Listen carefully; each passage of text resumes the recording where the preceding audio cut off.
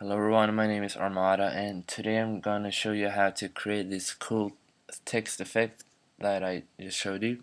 And it's pretty cool. It take doesn't take long to create and and yeah so let's begin.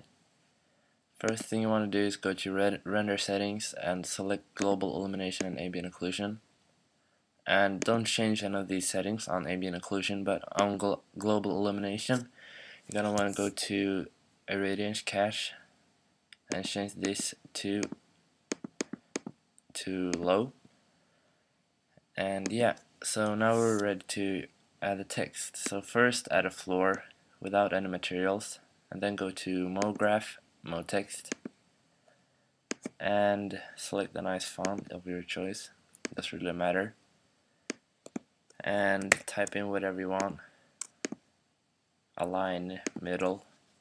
And on depth I don't I'm just gonna go ahead and take like 90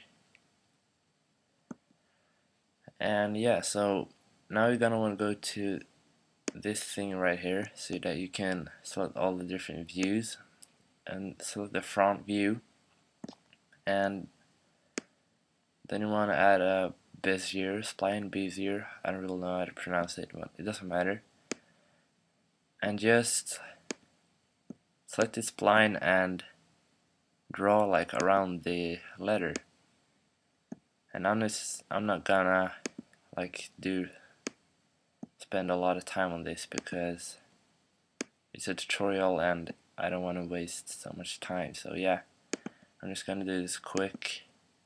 But if you have like more time uh, you can focus more so it looks better and now when we're here gonna want to check off close spline. So now we have our spline. Now you're gonna go to this menu and add a circle with a radius of about 7 7 or 8 no I'm uh sorry.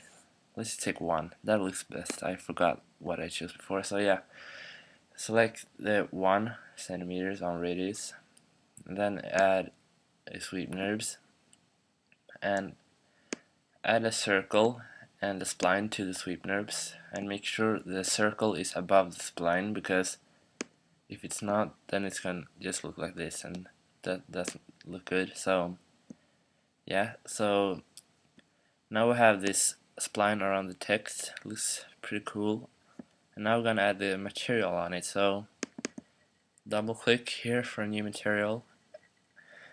Excuse me. And then select white as color and go to luminance brightness 200% and select like a really clear color if you know what I mean. Like not just gray or dark blue but like this type of green or blue or it doesn't matter. I'm just gonna take green and apply it to the sweep NURBS so this is what we got right now when we render. And it looks pretty cool. So now we're gonna animate this. So we're gonna go to sweep NURBS and I'm just gonna make this 200 frames.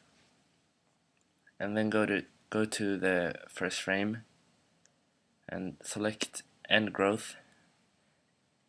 You can see what it does and then take it on zero percent. Then while holding command or control I don't know if you're a Mac user or PC user but command on Mac users click this circle right here and then move forward to about 140 or something doesn't really matter. And take this at 100% and this will turn yellow to show that we've made a change and it's ready to keyframe it. So hold command and click this. So as you can see it animates the spline. So now we're basically done but if you want to make it look better you can copy this command C command V and move it back like that. So now we have the animation on both of both of the sides. So yeah that's basically it.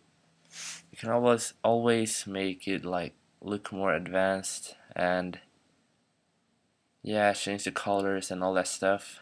It does look a little boring without camera animations but yeah that's about it. And thank you for watching. Please like or subscribe or favorite. It really motivates me to make more videos. So yeah thank you for watching. Have a good day